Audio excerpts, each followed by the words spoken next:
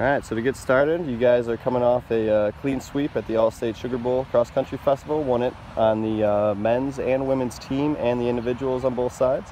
Uh, could you just put um, kind of that back into perspective after you kind of had a couple days to uh, sleep on it and really, uh, and really see? Uh, could you just put that victory in perspective? Yeah, um, we had, you know, we, we kind of went into the, the weekend with a goal and uh, it was nice to you know like lay everything out and be able to accomplish that.